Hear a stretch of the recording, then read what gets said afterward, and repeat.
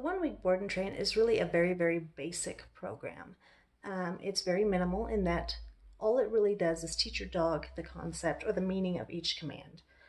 It's ideal for dogs or puppies between the ages of four to six months of age, and for dogs that uh, maybe the owners just want somebody else to teach the dog what the commands are, and then they feel like they can build on uh, those commands as the dog matures. So, with the one week board and train, your dog will go home knowing the commands and being able to obey, but you cannot expect them to hold the command for very long.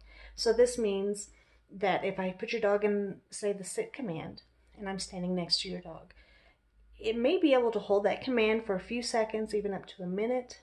But if I walk away, your dog's going to break the command. Um, also, when there's a lot of distraction, it's going to be very difficult for your dog to obey. So, with only one week, I don't have time to put in, you know, the work for distractions either. Um,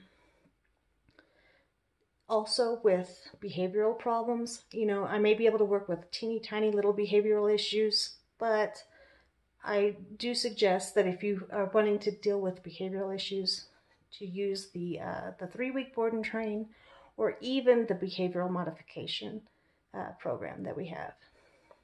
So, um, along with the one week board and train, you, the owner, will get two owner trainer sessions with me the first one will be when you pick your dog up.